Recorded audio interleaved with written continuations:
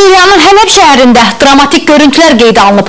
Ölkə ordusunun işit silahlılarının mövqelərinə aviyə zərbələr endirməsi nəticəsində bir neçə yaşayış evi darmadağın olub.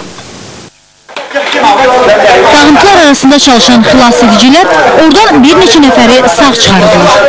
Xilas olunanlar arasında az yaşlı uşaqlar da olub.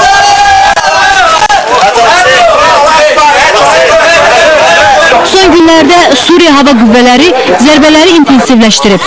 Təkcə bir gün ərzində Hələbdə 50-dən çox insanın həlak olduğu deyilir.